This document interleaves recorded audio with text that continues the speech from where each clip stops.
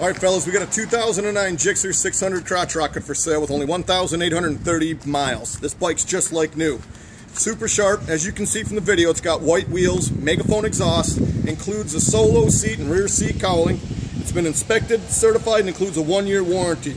Hop on this thing, tear up the streets. It's a clean, low-mileage Gixxer for only $89.99. Why buy new? Save thousands.